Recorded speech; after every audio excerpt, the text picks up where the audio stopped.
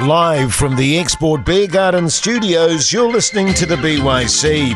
On today's podcast, we'll be focusing on the second test versus Bangladesh, where our very own Paul Ford predicted it perfectly. A squeaky bum victory with six wickets down. The only thing he got wrong was predicting it would be Kane Williamson and Santner to bring us home. Instead, it was the indefinable Phillips and Santner who combined beautifully to take us over the line. We'll also have a gander at the new look New Zealand one day squad with some new names chucked in the mix to spicing things up a little. And Dylan Cleaver, how's things, mate? Yeah, very good. Feeling a little bit better than this time last week. Yeah. She was squeaky bum, though, wasn't she? Oh, I thought we pissed in, actually. Oh, here we go. I tell you, I mean, I need to let the listeners know, and, and you can back me up on this, Paul Ford. Cleaver in in our WhatsApp chat, uh, chat is an absolute shocker. Talk about commentators' curse dropped every second line. It's an atrocity, mate. Yeah, the old um, who did I think would get us home? Devon Conway. Yeah, yeah, seventy five not out was your quote, uh, if Yeah, I remember that's rightly. right. Said he Yeah, yeah. bloody lucky to get Primed, two. primed for a big one, is what you said. Primed for a big one. Yeah, yeah. Body language is looking good. Now, speaking of shockers, that pitch, uh, Dylan, not great. I mean, from day one, really. Uh, but w- I don't know. Was it really that bad? Yeah, I think it is. Okay. Yeah, I think Tim Southee's well within his rights to come out and slam that pitch, which officially has been slammed today too, with kind of curious wording by the ICC, who said it was unsatisfactory and noted that the ball was going through the top from ball one.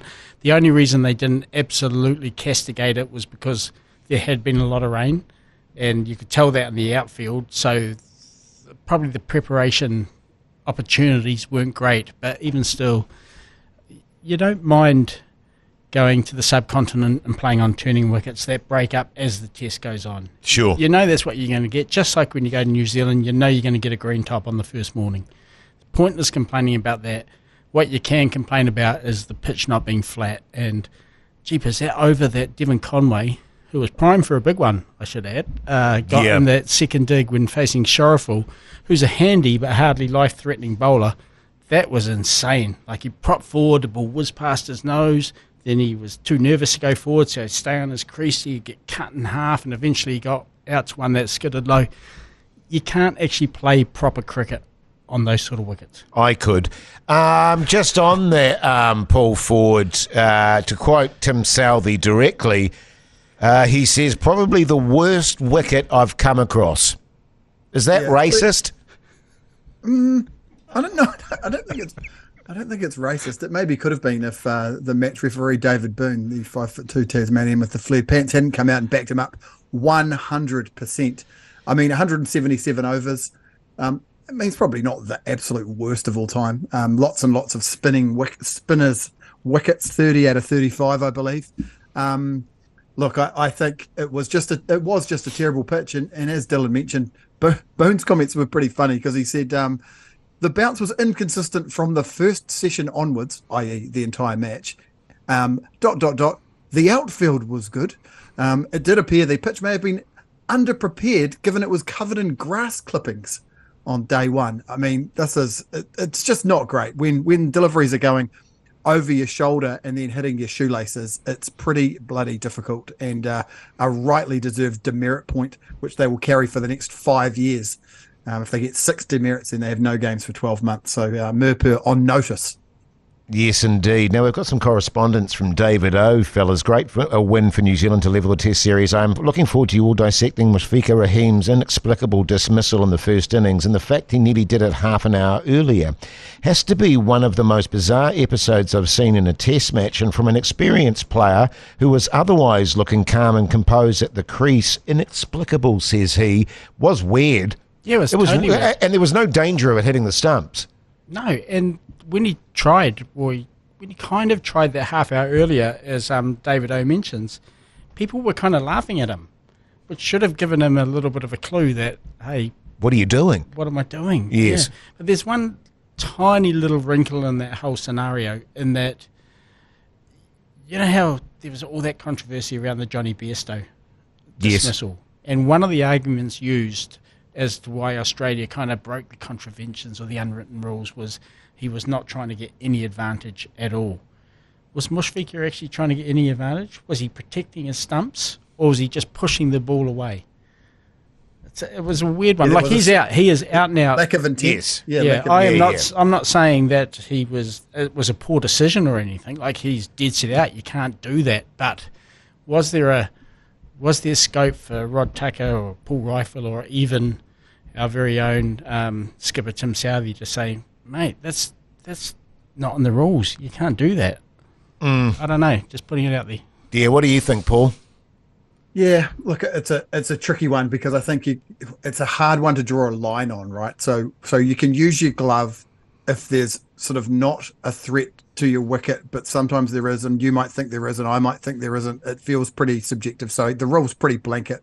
Um, look, yeah, I know you're not saying that it shouldn't have been given not out, but yeah, there is an element of the the spirit of cricket that could have been invoked there, perhaps with the lack of intent. Um, it, wa- it was it was very strange, but Mushfiqur Rahim does have this procliv- proclivity that lots of batsmen seem to have. And I guess it's born of the fact that there's kind of, particularly when you play New Zealand, there's quite a nice vibe. So you probably do pick the ball up from time to time when it's sort of noodling around, um, you know, your feet and just chuck it to the close in fielder. And I wonder if it was just almost like he instinctively did it because he he's picked the ball up a few times. Um, yeah, it, it, it was a it was a very strange situation. Yeah, uh, it was unfortunate because, and you know, uh, the correspondent is right when he says he looked comfortable. He, he was probably the most composed and comfortable of all the batsmen at that stage, uh, easily, easily. Now, let's move. I was just going to say, Jace, the other Yes. slightly, the other weird thing about this is he's the first Bangladeshi to be involved in a dismissal um, like this. No New Zealander, uh, sorry, this is the first time New Zealand has been on either side of one of these weird obstructing the field, handled the ball, retired out, all of these weird dismissals. We've never been involved in one either. So uh, another box ticked for cricket nerds like me. Yes. Now, our next subject is something we had a little bit of a chat about on our WhatsApp the enigma that is Glenn Phillips. And, you know, I, I, I was straight out. I, I don't see him as a test player, but his performances have made me actually take that back a little bit. And I, and I put a question to you guys in the chat, which was given where he bats in the uh, batting order, is he seen as a bowler who bats or a batsman who bowls? As he's way down the order. Uh, you were suggesting that he's a bit of a rogue element, that he's Yeah. a spark plug, that he is An agent of chaos. an agent of chaos, indeed. And and actually, I think that's how I kind of have to define him in my head because I'm not sure. You know, I'm not denying his excellent performances. I'm just not sure where he sits in the side. yeah, well, look at it. Three for 31. Yes, 87 and a four and a match winning 40 not out and this isn't a test where the scores were 172 144 180 and 139 for six for so, sure. so he is the key figure by a country mile in that game Yes. Mushfiqur might have been if he hadn't Whack, succumbed yeah. to stupidity but it was the G Phillips show as we've got in our headline there yeah it's and Paul sort of came back on that what's that chap again giving um sort of peek behind the veil here and said that it's he has to be defined somehow because Gary Stead is not an agent of chaos type of coach.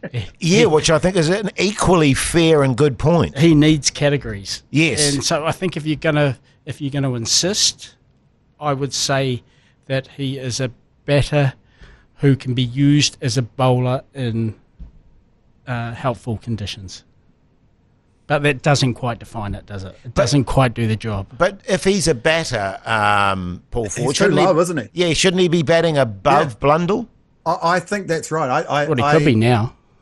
I I agree. I think it could pl- a player for in our universe, a player can be two things at once. He can be a spark cl- plug, plug, an agent of chaos, a batter who bowls a bit, a bowler who bats a bit, but not in Gary Stead's world. That's not how Gary Stead operates. For Gary Stead, this guy is in the team because Michael Bracewell is injured, and we need someone who can bowl some spin and add a little bit of steel to that middle order, that's to that to that lower order, lower to you know to bat with the lower order is what I'm trying to say, and and I think that's why he's being picked. Now he's massively overexceeded with the bowling. I mean, he just seems to find it quite easy. He bowls some shithouse balls that get wickets. But yeah, when you're averaging 16 uh, and with your test match bowling uh, against your, your first class record of 37 and his batting average of 46.6 is above his first class batting average. This is a guy that just finds test cricket relatively easy. Yeah. It's interesting, isn't it? Yeah, I, I do find, um, and I mean, maybe it's just a, a new breed of test player, you know, um, that these sort of hybrid. Yes, I, I, I'm loath to say bits and pieces type players, as he's better than that. Schrodinger's cat of a cricketer, maybe. Yeah, maybe, maybe. Now, one of the things uh, when when the uh, second test side was named, uh, we were all surprised by Santner. Because yes. we said, actually, did we even mention Sat, Santner in our podcast? And I do, I don't believe that we did, um, Dylan. No, we went through a lot of permutations about how we were going to crowbar Rachin, R- Ravindra in there, but, the but not Santner. And not Santner, no. Inspired selection, as it turned out. Yeah, well, who, who subsequently had an excellent game. Yeah, three for 65. He failed in the first dig with one, then three for 51, and obviously he was uh, the man beside Phillips to, to and cor- cor- yeah, career that six for 116 that you mentioned, Dylan, his best ever in, in Test cricket, and that fourth innings um, coming out to bat at number eight, 69 for six, and all of the top order batting's gone. So we're dead. Um, I was backing him to the hilt, but it was hope rather than kind of expectation, you know, hope rather than really absolute belief. Um, in those conditions, there were chances, but um, you know he he did superbly well. And Phillips talked about his approach, um, which was to you know get leg side and fast hands and all that stuff. And Santner, you could see Santner basically going, "Oh yeah, that works for me. I'll try that as well." Magnificent. Yeah, yeah. Well, and, and you know, I, I imagine a, a fellow like Santner too is itching to get back into that side, and so he's probably going to grab the opportunity with both hands because his his second innings dig was was a good knock. Yeah, so uh, under a lot of pressure. So I wonder if we've now got this kind of um, backlog of Asian only test players. Yes. uh, because um, we haven't mentioned Ajaz Patel, but yes, wow. Two, two for 54, six for 57, so, which puts them in the firing line to be dropped. Obviously. Yeah, yeah, yeah. Exactly. Uh, they, they, they have to drop him now, don't they, Paul? to be completely on brand. I mean, what's our next test matches? South Africa on the first, oh, in February, February I think. Um, yeah. You know, and yeah, you just would expect it'll be Green and Seaming, and it'll be Boult, Southee, Wagner, Jamieson, um, insert bowler who was injured or unavailable for that Test series, but four seamers. Um, and then if you're going to get a, get a spinner in there, yeah, it's going to be difficult to look past the likes of Phillips, Bracewell, Santner, um, Ravindra, and find a place for Ajaz. Really bloody difficult, and uh, possibly Phillips' success over in Asia adds another nail to the Ajaz Patel playing in home test matches coffin. Uh, and the controversy continues, Re Nicholls. Uh, what were the scores there, fellas? 19 2 1 and 3. Yeah, but um, he got backing. He got the full backing of the chairman of selectors. Yes. Did you, um, I don't know if you saw the comments, but yeah, it was a it was a multi pronged defence of uh, Nicholls whilst throwing a former great an elegant left-hander under the bus, basically saying that the only reason Nicholls is looking bad at the moment is because he's playing in an era of greats, which is a strange take to, I guess, but yeah, you know, oh, I guess there's some merit to it, and pointing out that his nine Test centuries are as many as Stephen Fleming got in 111 tests, which is also correct. But, but he also got about a million fifties, Fleming. Yeah, and the thing that annoys me about that argument is no one's disputing that Nicholls is not an effective compiler of centuries in New Zealand conditions in particular. He, and, and at times, Nicholls has been a really, really, really good player for New Zealand. Yes. But the only question that Sam Wells has to answer is is he holding out someone from the team who is better than him at the moment? And I think most of us would agree that, well, yeah, he is. Paul? Yeah, well, I mean, the numbers don't lie in a in a career that goes for seven years, and the the, the fact is, in his last twenty four bats for New Zealand over the last two years, he scored two hundreds and one fifty, and he's averaged about twenty eight. So if you're going to play in that New Zealand top order, it doesn't really matter if you're in the pantheon of greats over, you know, the last seven or eight years. It's how are you playing at the moment, and can we just have a little look at the numbers and go, probably not that well. Is it worth giving someone else a crack? That's kind of, you know, it's not like we're just talking about a guy that's had one bad score. This is starting to look like a bit of a long term problem, actually. Yeah. Yeah, interesting one. Well, you know, for me, it's just a straight swap. Get an old Rachin. He's the future. Say, you know, here he nips on your way, mate. Yeah, I just think there's a feeling out there now, and I think it's permeated all sort of levels of cricket in New Zealand, from fans to fellow players. I know there's frustration at the first class scene that he almost feels like a protected species, and that's probably not fair on him. He doesn't pick the team.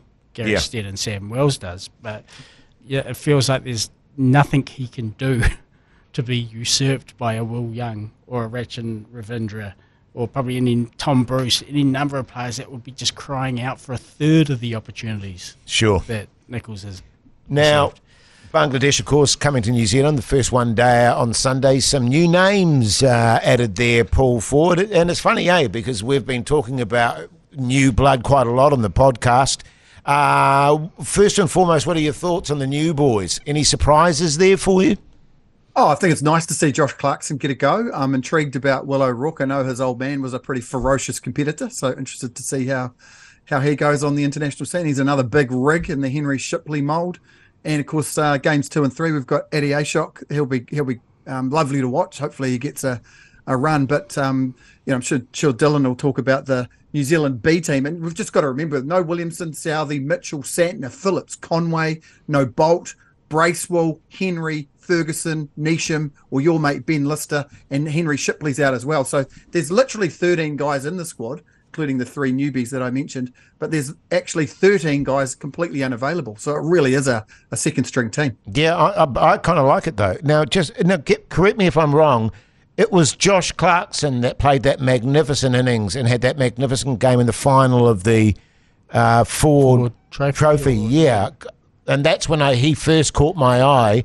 And from memory, he's a powerful striker of the ball uh, and a, a kind of handy medium, medium fast uh, bowler. Not not amazing um, stats in his first class career. They're not amazing, but they obviously see some potential in him, Dylan. Yeah, he's a clean striker of the ball. I think um, the one and only Scotty J. Stevenson described the sound of the super smash as being a six off the batter Josh Clarkson, which is high praise in, indeed. Um, look, I'm a little troubled by this, and look, I'm a cricket tragic, so I'm going to watch it. Yes. It doesn't matter what you So, throw, well, throw I'll be up. commentating it as well. It doesn't matter what you throw up there on screen, I'm going to watch it. But if you're a dad wanting to take your kid along to the opening game of the New Zealand International Summer and your kid's going, oh, great, we go and see Kane Williamson. Ah, nah, sorry, he's not there. Oh, see Timmy Southee. Ah, nah, he's not there actually. Trent Boult, nope. You keep going down the list. I, I just think there's better ways you can do this. And I know it's just bilateral churn um, for basically to give content to broadcasters that you can sell to your sponsors and that. But just having such a big block of players out all at one go, not even filtering in and out, just tells me that this cricket means bugger all to anybody. And why would why if you're a casual supporter, not me, not you, why if you're a casual supporter would you engage in that? Well, Jeff writes, I was having a cheeky look at the ICC player rankings to see if Glenn Phillips featured on the Test all rounder list. He doesn't. When I noticed Kane is ranked number one Test batter, thought it was worth mentioning. Curious to hear how you think the Black Caps B team should line up against the Bangers on Sunday. I assume Phineas Slog and Rachin will open, Josh Clarkson plays the other all rounder, and Milne and Jamieson will lead the attack. My questions should Chapman come in at number six to up the scoring or try him at first drop? Any chance Latham will give up the gloves to Blundell? Surely they're going to play Ish the Dish in game one, Ashok in games two and three, Paul Ford. Answer all of those, would you please? In Yeah, the space I- of two minutes. I have made my eleven, yeah, and I think um, who was it? Jeff. I think Jeff uh, is pretty pretty much on the money here. I mean, I suspect it's going to be Allen and Ravindra to open up. I think it'll be Young. I- I don't think that uh, Blundell will take the gloves. I think he'll be left out and Latham will captain and wicket keep, then I think it'll be Nips and I think it'll be Mark Chapman. I think they'll give Josh Clarkson a run, and then it'll be Jamieson, Sodhi, Sodhi slash Ashok, um, Ashok, and then uh, Milne and Duffy as the as the main seamers, and uh, maybe Will Rourke coming and going a little bit over the three matches. So, yeah, I mean, did I answer all of those questions? What's the I, point I in Blundell? The answer, What's the Yeah, point in know. that selection? I, I don't get it.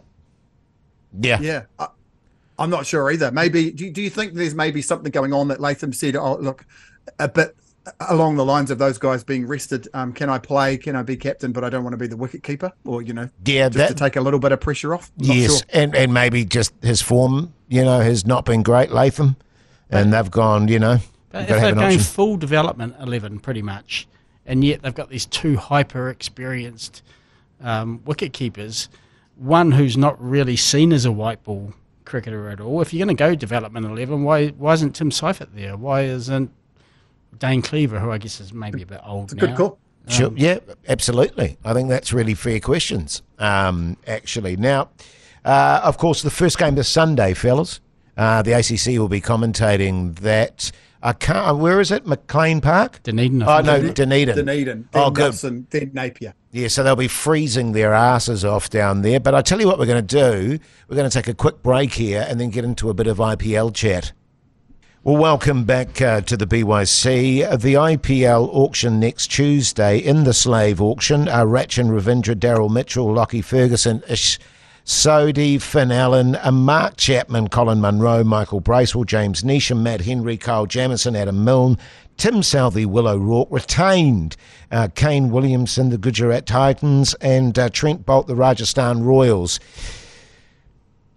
I'm thinking, wh- who are your lock-ins apart from the retained ones there? I think Um, I think Rachin will make a bit of money. I, I believe Rachin too will make a bit of money, no question about it. But uh, any other dead sets for you? I'd be amazed if Daryl Mitchell's not picked up for his reserve price. Yes. I'd be amazed by that. I think Lockie's going to struggle. You know, it's been a couple of years of ordinary form. I don't think Isha's got much chance. Allen didn't get a single game uh, when he was signed last year, so he's probably struggling.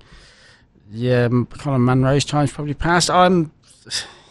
Yeah, I think there's really only two two locks there. I, I, I agree with you entirely. I think Rachin Ravindra, um, Paul Ford, Daryl Mitchell certainly will be have very good prospects.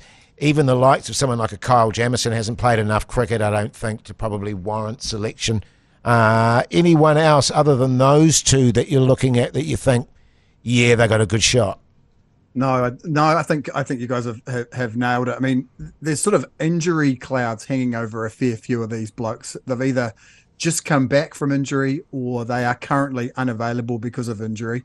Um, yeah, I mean, I mean, I'm intrigued about what happens with someone like Munro. I mean, if he keeps scoring 99 not outs in the Big Bash and so on, then uh, you know, worth a shot, right? He's not going to be going for heaps. Why, why not chuck him a throw throw the dog a bone, as they say? But um, yeah, look, I think the two that you mentioned feel pretty solid. It's amazing how much money is sloshing around over there. In the women's um, Premier League auction last week, you had uh, Annabel Sutherland, whose old man used to be the head of Cricket Australia. She got she got picked up for 400 grand New Zealand and a um, Phoebe Litchfield, who's sort of a fringe Australian player. She went for 200 grand. I mean, it's incredible how much money's going around. But we've got to remember in this in this men's version, there's guys like Travis Head, Mitchell Starc, um, Harry Brook, Pat Cummins. I mean, th- there's a lot of there's a lot of money to be spent on some big guns. Um, that uh, yeah, some of our guys look at look look a little bit uh, below par in that, against some of those bigger names. Yeah, well, as, as stated, I think those two are good chances. Uh, the rest it will be a surprise uh, to me. Uh, speaking of the women's game, the White Ferns uh, finding a little bit of form, Dylan Cleaver, after you absolutely hoed into them in the last podcast. Yeah, well, they were rubbish. really got the knives out and uh, really put your, your reputation on the line there and just didn't spare the horses.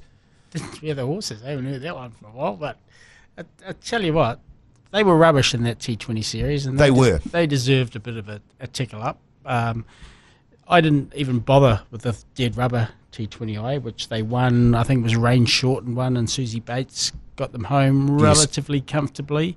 And uh, she went back to the well in the first ODI and scored big runs. And uh, the White Ferns did what we wanted them to do in the T20s, which was actually bat with some genuine, Intent. genuine urgency Yes. and intent. And uh, Bates, yeah, well, you know, she's an all-time great for the White Ferns. Scored a century. Um, Bezuidenhout, who, speaking of not sparing the horses, who Paul had an absolute crack at last week. Oh, yeah, that was a shocker. She came, she came good with eighty odd. So um, more of it, please. Inspirational feedback. That's what I'm calling it. Well, I, yeah, I mean, obviously, you guys just, you know, really hoeing in there has provided a little bit of, you know, impetus for them, you know, giving them a kick up the bum, as they say. I mean, you were shocking last week too, Paul. You were, t- I was shocked. I mean, I know it really breaks bro- broke your heart as such an enormous White Fern supporter. I Totally, man. I know how you just take that stuff to heart. You know, it was one one couple of quick observations. One is in that third game, the dead rubber. Amelia Kerr was the uh, captain, and I, I mentioned last week there was this lack of joy. They were the fielding was massively improved in that in that third game, and they went mad when they got wickets. So that was good. That was really good. And uh, the the thing in this first one day was there were some hectic injuries. Uh, one of the Pakistani bowlers got a, I think it was a Sophie Devine drive to the face. You had Amelia Kerr getting hit in the back of the head and collapsing onto the ground when she was batting. Um, it was it was mad. And yeah, as you say, Sophie Devine back from her rest in, in the third T20 and batted like she was had forgotten that it was a one dayer and hit 70 off 36 balls with six sixes, mostly full toss pull shots onto the runway at the Queenstown Airport. Absolutely wonderful. Great stuff. Now, in international news, Australia versus Pakistan. Uh, test match starts tomorrow, 3.20 p.m. in Perth. I Uh, love a Perth test. yes. It's good, isn't it? Just slots into my time zone perfectly. Yeah. I, I, you know, Australia as much as I kill them. despise the Australians, I, I do love watching the Aussies at home and playing Test cricket. Yeah, It's good stuff. it's always good cricket, isn't it? Yes. You know you're not going to get a wicket like you got at Mirpur. No. start. Nurpur. Um, Nurpur. yeah, I'm expecting. Is this a mismatch? Is this is this Australia versus Pakistan game a mismatch? It's, it's, So yeah, well, I was Australia- about to ask you, Dylan, actually. Is this going to be an absolute trouncing? total. Uh, Pakistan are going to rely very, very heavily on runs from Babar Azam, who didn't have a great World Cup. They're going to rely very, very heavily on wickets from Shaheen Shah Afridi, who I assume is available. Yes. Um, but uh, my feeling is that Australia, they're on a high, right? World Cup winners, World T20 champions, World Totally. Test Test champions. Um, oh, sorry, they're not the World T20 champions, but they're in a good space. Pat Cummins is in a good space. He's won back the Australian public. The most interesting thing about this test in terms of result is the sort of re- uh, reception that Davy Dum Dum is going to get from the Perth crowd. He's whether he likes it or not, he's seen as a principal agitator in getting favourite son Justin Langer Yes. out of that job, and he has also um, raised the ire of Mitchell Johnson, which we discussed last week. So, on this farewell tour of his, it might get off to a, a somewhat rocky start in the um, Yeah. Sandgrope estate. We, you you, you make a good point, though, Dylan. I mean, Australian cricket are really on a high, and it's been a while since they've been at home, eh? I mean, they haven't actually been able to play at home for quite some time. My recollection, Paul Ford, was the last time uh, Pakistan toured there, they got an absolute hiding. Oh, I've got an absolute. I've got a couple of stats for you, Jace. Twenty-five years Pakistan have been going to Australia. They've played uh, five series, five series, fourteen Test matches. They've been, uh, they've lost every single one of those Test matches. Four of them by an innings, four of them by more than 170 runs, and three of them by nine or ten wickets. I mean, they don't normally lose; they get absolutely annihilated. They don't have Naseem Shah, who's one of their strike bowlers. Haris Rauf said, Hey, thanks for picking me, but I'm going to go play the Big Bash, thanks. And then in the warm up game against the Prime Minister's 11, their main leg spinner, Abrar Ahmed, got injured. So they are in, I mean, they are massively on the back foot. There's some interesting stats. Um, Shaheen Shah Afridi, who you just mentioned, um, Marnus Labuschagne does not like facing his late and swinging Yorkers and has got out to him, I think, five or six times. Um, and I saw Mohammad Hafeez has come out and said that they're going to try and smash Lyon out of the attack. So that should be good to watch. Bold, bold Um, strategy. Bold strategy. The other thing I was going to just throw at you, Dylan, when you were rattling off um, some excellent reasons why the uh, Western Australian public should hate um, David Warner just a little bit more than than the rest of Australia. The other one is that if if the selectors pick Cam Green, it means that Mitchell Marsh will be the guy left out um, because David Warner is on his victory lap, and yeah. so. Uh, there's another reason. Uh, oh. Their boy, Mitchell Marsh, may not be in the 11 unless they pick him ahead of Cam Green. One other reason, too, is that um, everyone has had a chance to redeem themselves from Sandpaper Gate except for Cam Bancroft. Where's he from?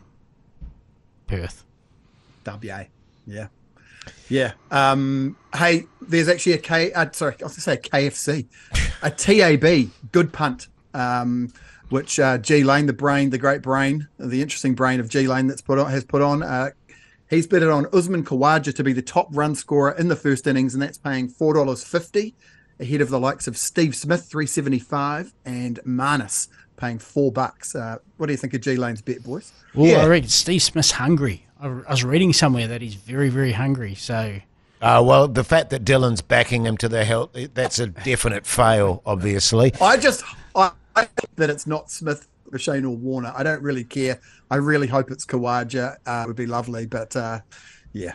We like Khawaja, don't yeah. we? And he's, uh, he's, beautiful to watch. He is abs- quite genuine. Genuinely, he is. Remember watching him live at Eden Park, and he is something to behold live. Now, the Big Bash, uh, Colin Munro, the eternal question. Not a question as far as I'm concerned, but one of you thinks it is. Uh, did New Zealand ditch him too early?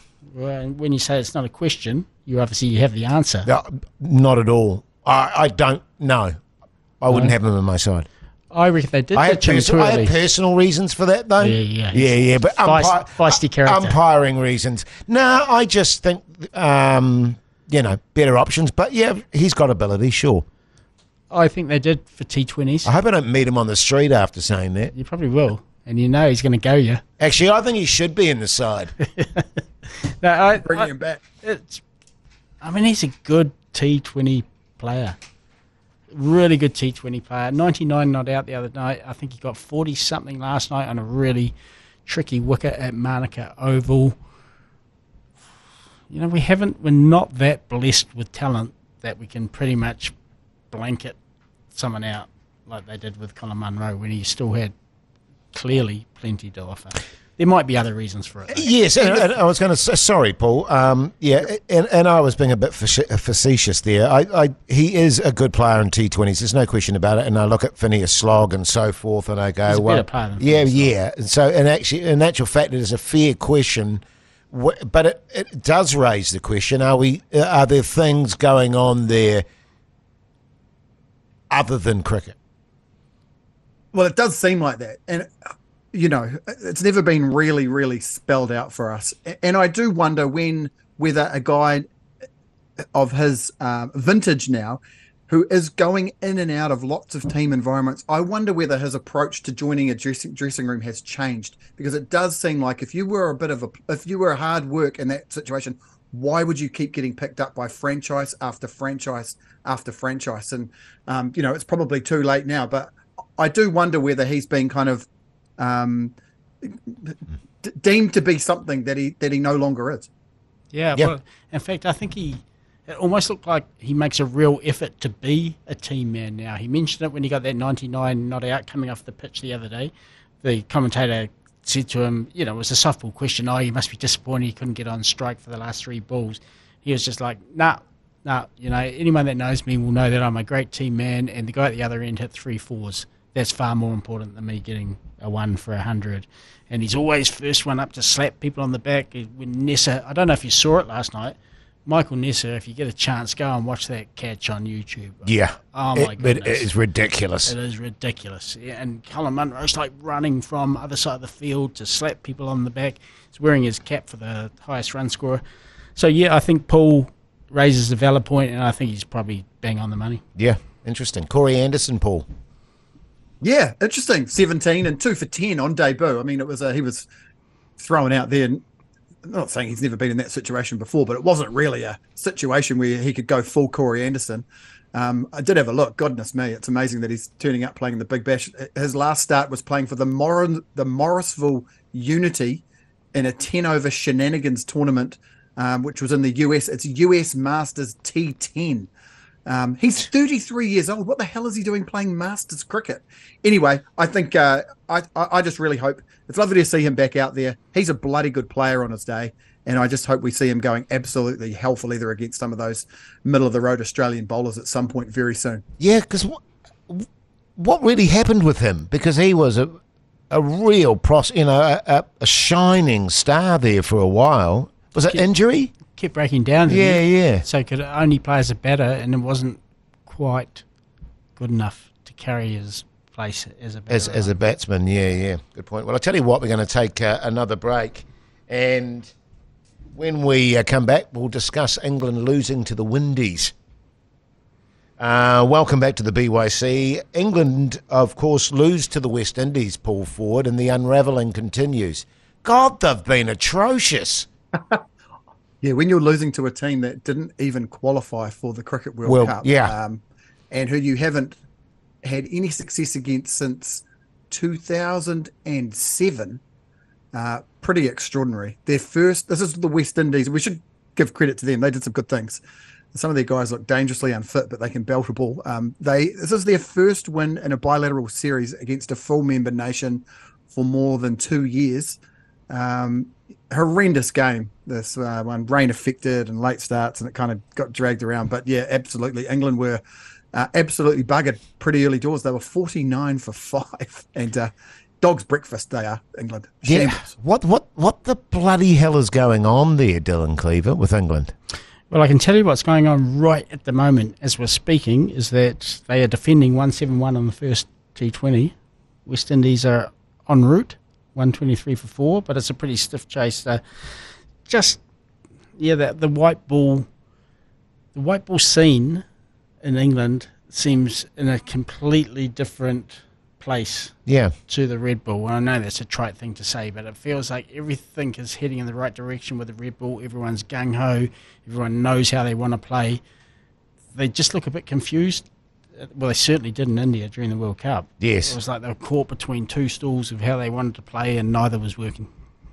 Yeah, it's it's bizarre stuff. Now, this is a good story. Um, Lou Vincent back from the outer reaches of the uh, cricket galaxy, fellas. Yeah, great. Um, and I, I think that's terrific news, genuinely. And I always think that he was pretty hard done by to be so. I mean, he, he did a stupid thing. He, of course, he did a stupid thing, and and acknowledged it and came forward about it. Uh, but I always felt Paul Ford the punishment was pretty brutal.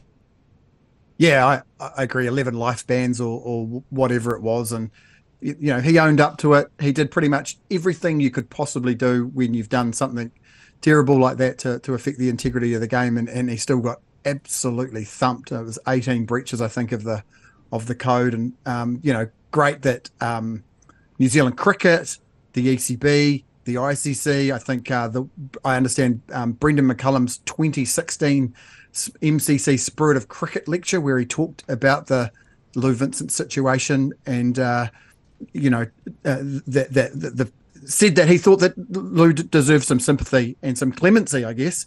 And uh, yeah, look, I, I don't know Lou particularly well, but I've had a few experiences when I worked at Auckland Cricket with him. He was one of the most enthusiastic people. Absolutely loved the game. Amazing with kids. Always did every possible sponsorship obligation you could ask of him, and was sort of first man there and last man to go. It was a it's been really sad what's happened to him. And you know i know the authorities have to do what they do but thank god that sanity's prevailed and that he'll be back out there. I think it'll be good for the game. Yeah i mean that's what we want right? We want them teaching kids. We want them to we actually want them traveling the country telling how damaging it can be to hurt the game and to get yourself into a position like he did. So yeah look it's not as if you're totally forgiving him for his crimes. I mean, he was punished. I don't know if he can take a full part in cricket now, but he's certainly, um, yeah, it's good to have him back. Yeah, well, uh, Demetrius uh, writes uh, along these lines, but he also says, "What are your thoughts on a precedent for a relaxed punishment for those who show, who confess and show remorse slash contrition?" It seemed up until now players were better served denying and suing anyone who, who accused them of fixing instead of cooperating and helping get corruption out of the game, Paul Ford? Yeah, look, there's something. I think that there's something in this. I mean, there's an absolute host of, um, I guess, players that have been involved in this, and, and, quite a few of these life bans have actually been overturned. Um, Malik is one, uh, Atta Ur Rahman, Muhammad Azharuddin, um, Ajay Sharma, uh, Ajay, uh, J- Ajay Jadeja. I mean, all of these guys have had life bans and they've all had them overturned. So, um, yeah, look, I don't know. It's hard to make a hard and fast rule here, but it does feel like, you know, as I said before, Lou had been treated particularly severely for what he did, particularly for a guy that has fronted up and and kind of taken all of the hits to his reputation, and uh, and gone and done, you know, lots of work teaching other players about anti-corruption, you know, doing doing the hard yards on that front too. Yeah, good stuff, mate. Now the Ford Trophy, um, ND atop the table there on 15, Auckland 12, CD 11, Otago 8, Canterbury 7, Wellington 7, uh, Phineas Slog 369, Bill Clark 193, Brett Hampton Downs 188, Adam Mill 9, Christian Clark. Oh, have you, you've done it again, haven't you, you sons of bitches?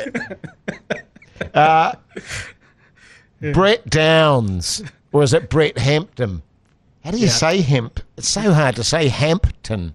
Yep, you got it the third time. Yes. Well uh, you nailed it when Milne, you said Hampton Downs. um, Adam, Adam Mill, nine. Christian Clark, nine. And Ray Toole, nine. Is Ray Toole real? Yeah, yes, actually. He's been, he's been playing bloody well for a number of years now, but the number that stands out there by a mile is uh, Fernell Phineas Slog, 369, averaging 92.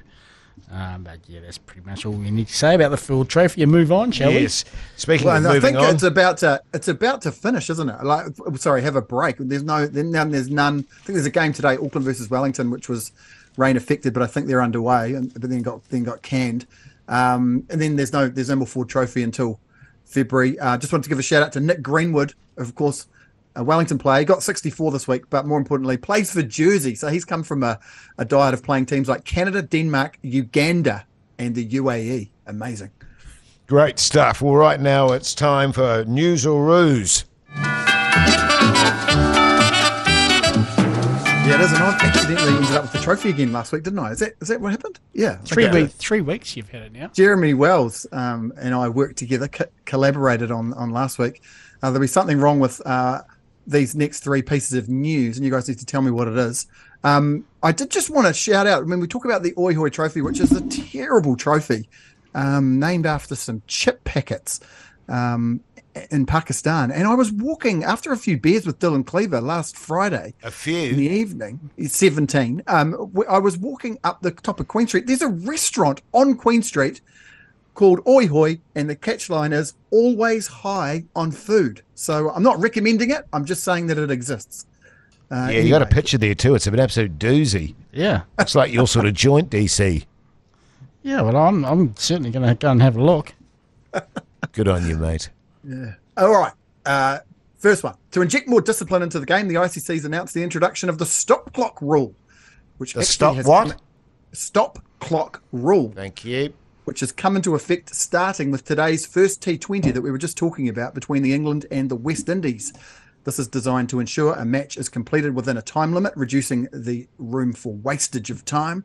After each over, an electronic clock displays on the big screen with a 60 second countdown, and the fielding side must begin the next over within this time frame or face consequences, i.e., a maximum of two warnings, and then the third offence will result in a five run penalty. There's exceptions for stuff like batters taking position at the crease, drinks intervals, injuries, bats breaking, all of that kind of stuff. Um, but yeah, something to, to keep an eye out for, I guess, over the over the uh, rest of the season.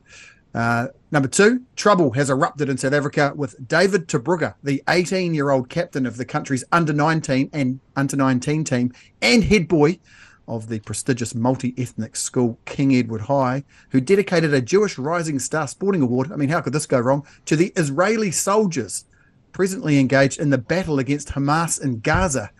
The 18 year old said, I'm the rising star, but the true rising stars are the young soldiers of Israel. Uh, the cricket, cricket South Africa promptly suspended him and launched an inquiry found uh, that the teenager's remarks were in his personal capacity and unrelated to cricket, and thus it was not detrimental to the sport.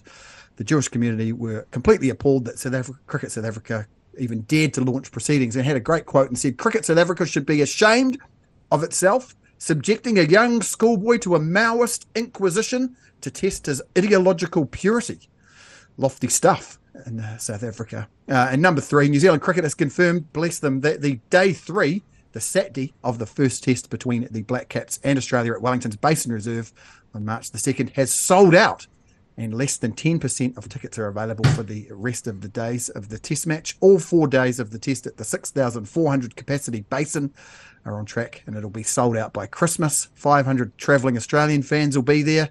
And of course, let's not forget the Black Caps are on a five test winning streak there after wins over England and Sri Lanka this year. There we go, boys. What do you reckon? What do you reckon? Clocks. Um, do you want me to Gaza. go? Yeah, why don't, why And don't the basin. I haven't got a clue. Um, I have not I got a clue. I think it's number three, and I think it's already sold out. Okay. Um, I think David Terbrugge used to be a medium pacer for South Africa years ago, but I guess there's a chance that there's more than one David Terbrugge in the world. I will go for the story too, but I've got zero reason why maybe Terbrugge was not subject to a Maoist inquisition, but rather a Spanish inquisition. I can't believe how you've just so lackadaisically just absolutely nailed it. Yes, David Terbrugge. This guy's name is not David Terbrugge, it is David Teeger.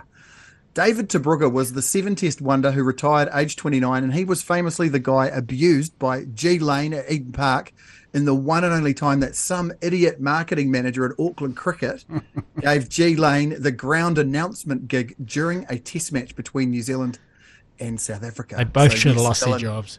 You are 100% correct. Okay. Now we're moving on to my favourite. Yes, Dylan the- Cleavers. Who am I?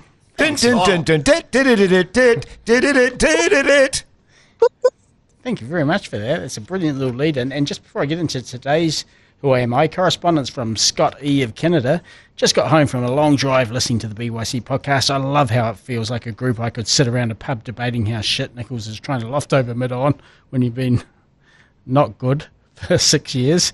Uh, please tell me the Who Am I is Mark Priest, Popeye. And you are absolutely correct.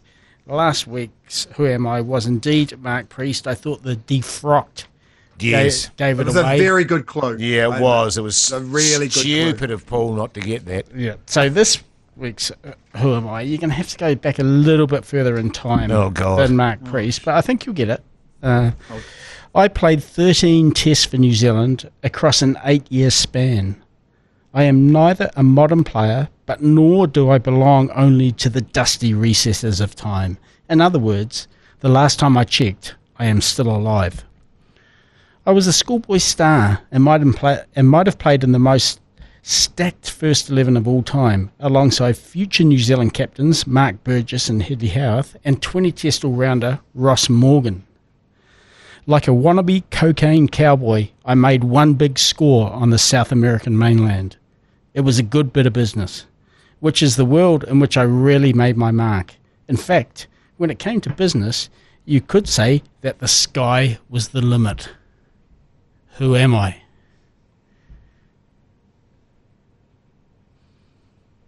Oh, I can I can see my. I know this is not working on a podcast, but I can see mine's cogitating here. Yeah. Um, You didn't does get it rhyme with um, Mary TARDIS? Aha! Genius, genius. Well done, mate. Well done. well. If Terry anyone Jarvis. else out there knows the name, Do you? correspond. Oh yeah, I don't want to ruin it though, Dylan. Anyway, we'll ruin it for all the punters out there. Come on, mate. Jeez, Louise. Uh, but do get in contact with us and let us know if you have the answer to that. And right now it's time for Paul Ford's Cricket Violence Corner. Paul Ford's Cricket Violence Corner. In a shocking incident, a school principal has been videoed thrashing two teenage students with a bat for playing cricket inside their classroom in Ujjain on Friday. The incident occurred at the Keda Kajaria School, where the students can be seen playing cricket in their classroom. Angry, the principal snatches their bat and starts thrashing the duo. A video recorded from outside the window of the classroom brilliantly captures the moment of the assault. Wait for this. The Education Department has stated that an investigation into the conduct of Principal Uday Singh Chauhan will be conducted. Chauhan claimed the video is several months old. That's not a great defense. and that the students were being beaten because they were mischievous and had caused disruption in the past. Also, not a great defense. And then the uh, absolute doozy of a finish. He said he wasn't beating them forcefully, but rather only whacking them to try and instill fear. Um, I think this guy might need a bit of help with his uh, defense. What Anyway, shadow batting shot was he playing? Uh, it was a very, very. Uh, I would say it was a, uh, it was a pull shot, very, very square to through square leg. Yeah, Jeez, he's wearing one of those. Um, he's wearing brown slacks and one of those absolute archetypal Indian cricket watching shirts with the uh, sort of three different um, vertical brown stripes and sensible buttons and a good collar on it. So yeah, Great absolutely. stuff. Great stuff, stuff. Paul Ford. Well, that brings us to the end of the podcast. Now, I'm not sure when the podcast is back, fellas. Have we determined that? Good question. Have we Um, got one more on us before Christmas? What's the no, I'm I'm away, mate. Well, I mean, you two could. Good Yeah. point. Yeah, look, I, I'm, I've got a holiday plan, but I'm happy to cancel it because I'm committed to this podcast and I'll be here next Wednesday. Fool. Um, no, that's fair enough, Paul Ford, if you want to do that. Uh, mind you, you were saying you weren't really keen on the holiday and the place you were going to, and any chance to get out of it, you'd you'd you'd snap up. So good on you, mate. Hey, uh, Dylan, what's going on with the bounce, mate? The bounce is tracking along as well. It's it's deciding whether it's going to have a Christmas holiday or not, and at the moment it's leaning towards not. Right, So sure. sign up, dylancleaver.substack.com, and um, you'll get a sports newsletter dropped into your inbox three times a week. Maybe drop down to two at this time of year. Sure, sure. Uh, well, thank you for taking the time to listen to this podcast. If you want to get in touch with us, because we do appreciate your correspondence, what do they need to do, Paul? Flick us your missive of 150 words or thereabouts to byc at beigebrigade.co.nz or slide into the DMs for the Beige Brigade or the Alternative Commentary Collective on Instagram or Facebook. Great stuff. Take care out there. Have a great Christmas and hopefully see you soon.